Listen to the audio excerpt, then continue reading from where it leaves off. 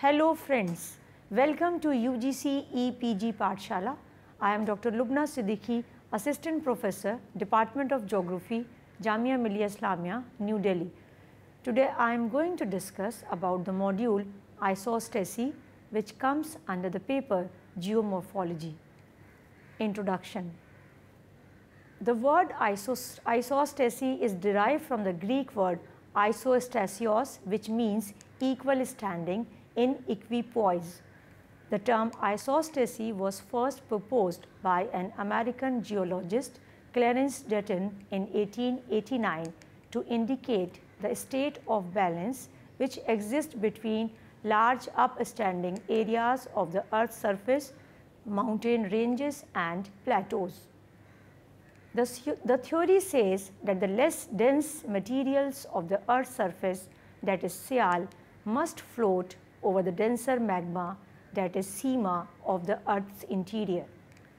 Similarly, as we go deep interior of the earth, we see that there are several concentric layers. The densest, densest material from the core whereas the earth's surface is composed of lightest material. Each layer and the earth's surface features are resting on over another with an isostatic adjustment. For example, the average density of the core is 13.5 gram per cubic centimeter. Density of mantle ranges from 3.3 to 5.7 gram per cubic centimeter. Density of the continental crust is around 2.7 gram per cubic centimeter. The concept of isostasy is extremely useful to explain glacial adjustment taking place in, Scandinav in Scandinavian countries after the Pleistocene Great Ice Age. The raised beaches of Finland exhibits that an uplift of about 250 meters has taken place during the last 8000 years due to isostatic adjustment. In the present module, we are going to cover about the following aspects of isostasy. Number 1, development of the concept. Number 2, the concept of Sir George Airy. Number 3, the concept of Arch, Archdeacon Pratt. Number 4, the concept of Hayford and Bowie. Number 5, the concept of Joly. Now, number 1, development of the concept. The concept of isostasy came in the mind of geologists, but the concept grew out of attraction of giant mountainous masses. Figure 1 shows the deflection of plumb bob due to gravity. Pierre Bouguer during his expedition of the Andes in 1735 to 45 found that the towering volcanic peak of Chimborazo was not attracting the plumb line as it should have done. He thus maintained that the gravitational attraction of the Andes is much smaller than that to be expected from the mass represented by these mountains.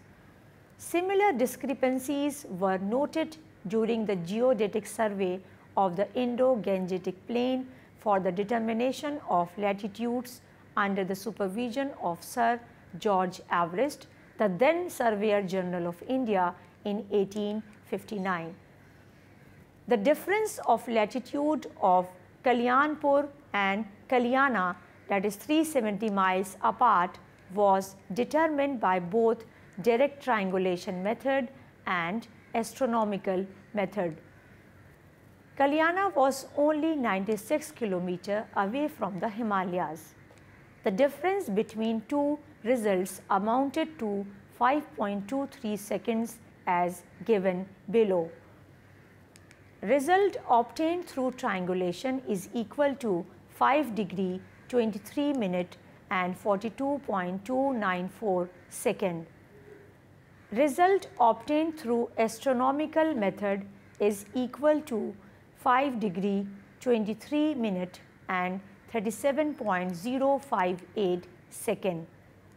Thus, the difference is 5.236. This discrepancy between two methods was at attributed to the less attraction of the Himalayas due to which the plumb bob used in the astronomical determination of latitude was deflected.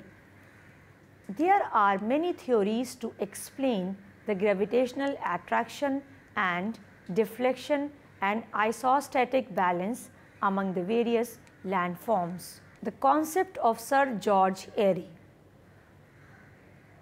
According to Airy, the inner part of the mountains cannot be hollow, rather the excess weight of the mountain is compensated or balanced by lighter materials below. According to him, the crust of relatively lighter material is floating in the substratum of denser material. In other words, Sial is floating over Sima. Thus, the Himalayas are floating in denser glassy magma. Himalayas was not only a surface phenomenon, the lighter rocks of which they are composed do not merely rest on the level surface of denser material beneath, but as a boat in water sink into the denser material. In other words, the Himalayas are floating in the denser magma with their maximum portion sunk in the magma in the same way as a boat floats in water with its maximum part sunk in the water. This concept in fact involves the principle of flotation. For example, an iceberg float in water in such a way that for every one part to be above water level, 9 parts of the iceberg remains below water level. If we assume the average density of the crust and the substratum to be 2.67 and 3.0 respectively for every one part of the crust to remain above the substratum, 9 parts of the crust must be in the substratum. In other words, the law of flotation demands that the ratio of free board to draught is 1 to 9. It may be pointed out that Airy did not mention the example of the flotation of iceberg. He simply maintained that the crustal parts that is land, land masses were floating like a boat to boat in the magma of the substratum. If we apply the law of flotation as stated above in the case of the concept of Airy, then we have to assume that for the 8848 meters height of the Himalaya, there must be a root 9 times more in length than the height of the Himalaya in the substratum. Thus, for 8848 meter part of the Himalaya above, there must be downward projection of lighter material beneath the mountain reaching a depth of 79,632 meter, roughly 80,000 meter. Joly applied the principle of flotation for the crust of the earth, taking the free board to draught ratio as 1 to 8. According to him, for every emergent part of the crust above the upper level of the substratum, there are 8 parts submerged. If we apply Joly's view of flotation to the concept of Airy, there would be downward projection of the Himalaya up to a depth of 70,784 meter that is 8,848 meter into 8 in the substratum.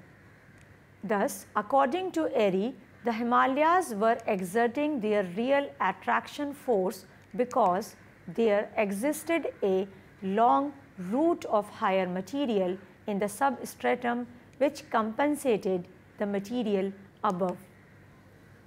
Based on above observation, Airy postulated that if the land column above the substratum is large, its greater part would be submerged in the substratum and if the land column is lower, its smaller part would be submerged in the substratum. According to Airy, the density of different columns of the land, for example, mountains, plateaus, plains, etc., remain the same. In other words, density does not change with depth that is uniform density with varying thickness as shown in figure 2. Figure 2 shows the model of isostasy of Airy. This means that the continents are made of rocks having uniform density but their thickness or length varies from place to place. In order to prove this concept, Airy took several pieces of iron of varying lengths and put them in a basin full of mercury.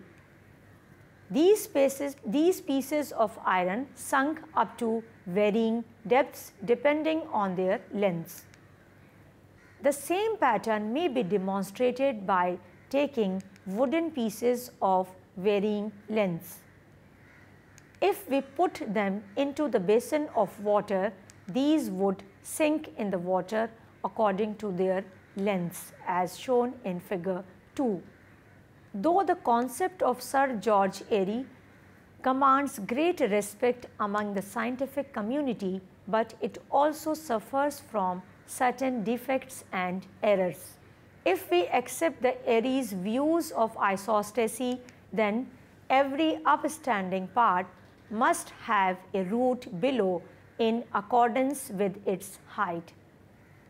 Thus, the Himalayas would have a root equivalent to 79,632 meter if we accept the freeboard to draught ratio as 1 to 9 or 70,784 meter if, the freeboard to draught ratio is taken as 1 to 8. It would be wrong to assume that the Himalaya would have a downward projection of root of higher material beneath the mountain reaching such a great depth of 79,634 meter or 70,784 meter because such a long root even if accepted would melt due to very high temperature prevailing there as temperature increases with increasing depth at the rate of 1 degree Celsius per 32 meter. Figure 3 shows the comparison between the views of Airy and Pratt on isostasy. So, there are some alternative models as shown in figure 3 to explain the isostatic adjustment of the landforms of the earth surface and related gravitational deflection. The concept of Arch-Deacon Pratt while studying the difference of gravitational deflection of 5.236 seconds during the geodetic survey of Kalyana and Kalyanpur, Arch-Deacon Pratt concluded the gravitational force of the Himalaya after taking the average density of the Himalaya as 2.75 and came to know that the difference should have been 15.885 seconds. Pratt said that in order to measure angle to a star of surveyor must determine the horizontal plane if horizontal plane between two sides were askew to must be the vertical direction. He then studied the rocks and their densities of the Himalaya and neighboring plains and found that the density of each higher part is less than a lower part. In other words, the density of mountains is less than the less than the density of plateau, that of plateau is less than the density of plain and the density of plain is less than the density of oceanic floor and so on. This means that there is inverse relationship between the height of the reliefs and density. According to Pratt, there is a level of compensation above which there is variation in the density of different columns of land, but there is no change in density below this level. Density does not change within one column, but it changes from one column to other columns above the level of compensation. Thus, the central theme of the concept of Pratt on isostasy may be expressed as uniform depth with varying density. According to Pratt, equal surface area must underlie equal mass along the line of compensation. This statement may be explained with an example as shown in figure 4. Figure 4 shows the line of compensation. There are two columns A and B along the line of compensation. Both the columns A and B have equal surface area but there is difference in their height. Both the columns must have equal mass along the line of compensation. So, the density of column A should be less than the density of column B so that the weight of both the columns become equal along the line of compensation. Thus, Pratt's concept of inverse relationship between the height of different columns and their respective densities may be expressed in the following manner. Bigger the column, lesser the density and smaller the column, greater the density. According to Pratt, density varies only in the lithosphere and not in the pyrosphere and barysphere. Thus, Pratt's concept of isostasy was related to the law of compensation and not to the law of flotation. According to Pratt, different relief features are standing only because of the fact, fact that their respective mass is equal along the line of compensation because of their varying densities. This concept may be explained with the help of an example as shown in figure 5. Figure 5 shows Pratt's model of isostasy. Bowie has op opined that though Pratt does not believe in the law of flotation as stated by Sir George Airy, but if we look minutely into the concept of Pratt, we certainly find the glimpse of law of flotation indirectly. Similarly, though Pratt does not believe directly in the concept of root formation, but very close parallel of his concept on isostasy does indicate the, the glimpse of such idea that is root formation indirectly. While making a comparative analysis of the views of Airy and Pratt on isostasy, Bowie has observed that the fundamental difference between Airy's and Pratt's views is that the former postulated a uniform density with varying thickness and the latter a uniform depth with varying density according to Steers 1937. Figure 3 explains the fundamental difference between the concepts of Airy and Pratt on isostasy. The concept of Hayford and Bowie. Hayford and Bowie have propounded their concepts of isostasy almost similar to the concept of Pratt. According to them, there is a plane where there is complete compensation of the crustal parts. Densities vary with elevations of columns of crustal parts above this plane of compensation. Densities vary with elevations of columns of crustal parts above this plane of compensation.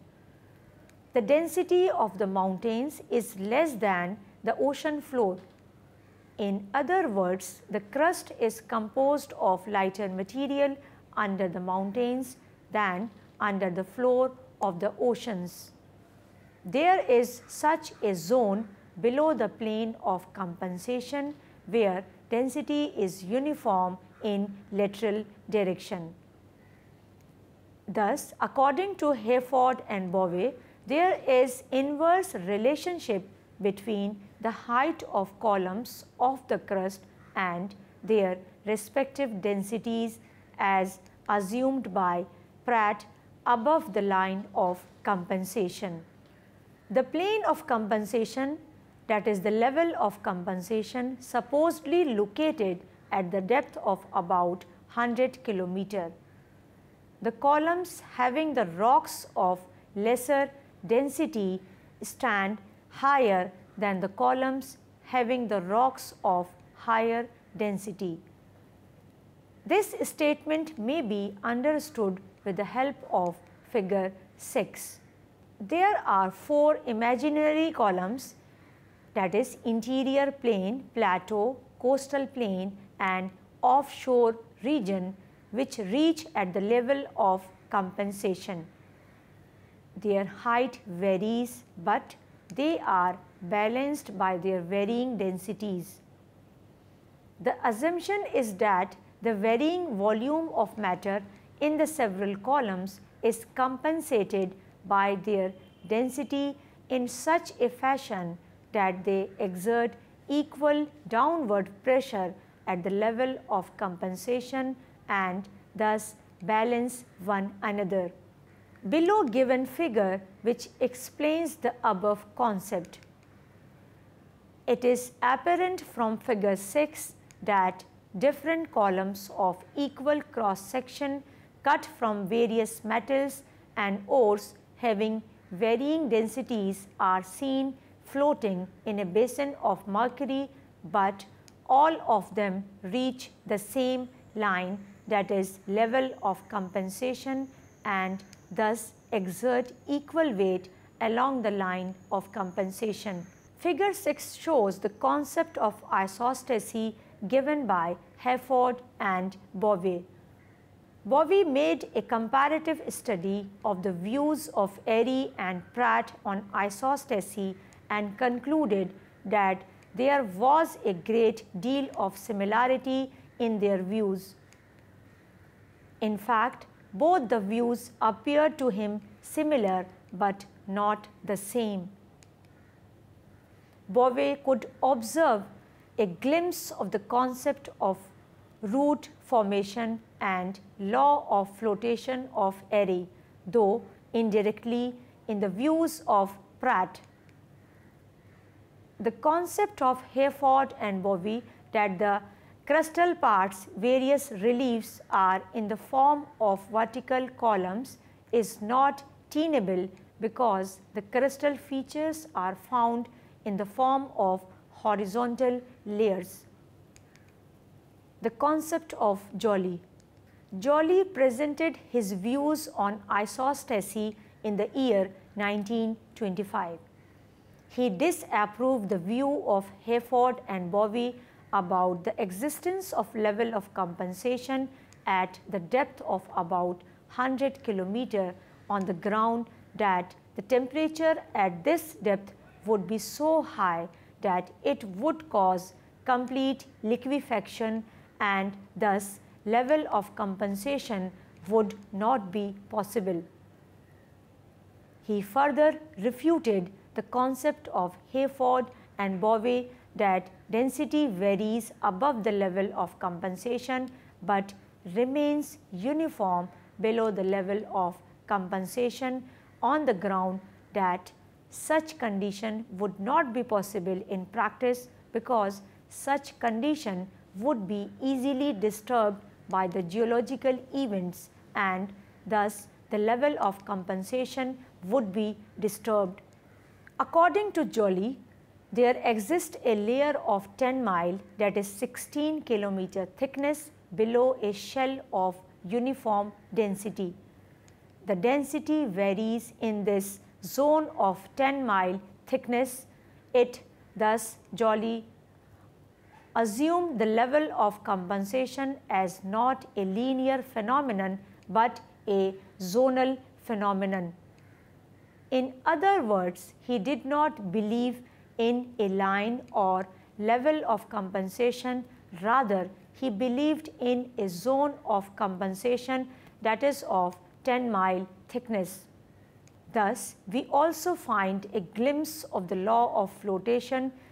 That is it may be noted that Joly did not mention this, we only infer the idea of flotation from Joly's concept and his concept is closer to the Airy's concept rather than the concept of Hayford and Bowie. Figure 7 shows Joly's view.